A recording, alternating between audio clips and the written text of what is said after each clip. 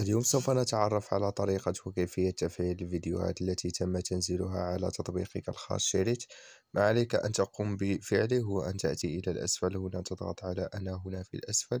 ثم بعد ذلك يأخذك إلى هذه النافذة الخاصة. هنا للملف الشخصي الخاص بك. ثم تأتي إلى الأعلى. تضغط على هذه العلامة في الأعلى.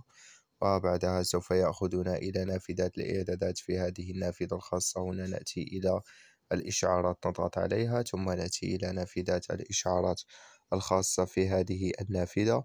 وما عليك أن تقوم بفعله هو أن تأتي إلى الأسفل هنا. ثم سوف تأتي إلى هذه الخانة هنا للفيديوهات التي تم تنزيلها. تضغط على العلامة البيضاء وهنا أصبحت باللون الأزرق. يعني تم تفعيل الفيديوهات التي تم تنزيلها على تطبيقك الخاص شريط. وهنا نكون قد انتهينا من هذا الفيديو. لا تنسوا الاشتراك والضغط على زر لايك